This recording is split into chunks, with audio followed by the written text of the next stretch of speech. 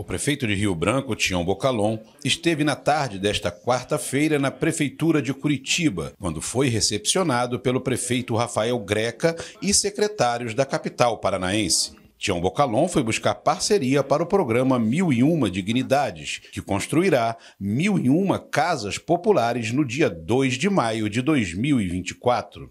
Foi apresentado um vídeo institucional do programa entregue ao prefeito Rafael Greca o projeto Mil e Uma Dignidades. As autoridades curitibanas gostaram e compraram a ideia. O prefeito decidiu firmar parceria com Rio Branco e prometeu ajudar a conseguir mais parceiros. A descarbonização de Curitiba é muito importante para o mundo, mas a descarbonização de Rio Branco, capital do Acre, é muito mais importante, porque será um símbolo de que o Brasil tem boa vontade e sabe fazer desenvolvimento sustentável.